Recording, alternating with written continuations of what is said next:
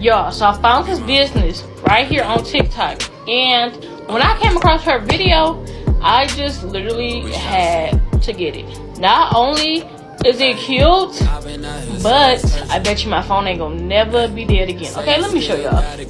So y'all, not only did it come in this cute small look how cute the actual charger is.